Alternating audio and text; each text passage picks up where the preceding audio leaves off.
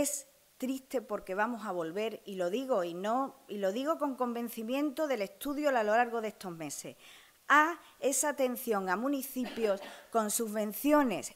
que terminan en un evento concreto y adiós muy buena. Ese no es el sentido ni de la promoción turística de la provincia de Cádiz a futuro,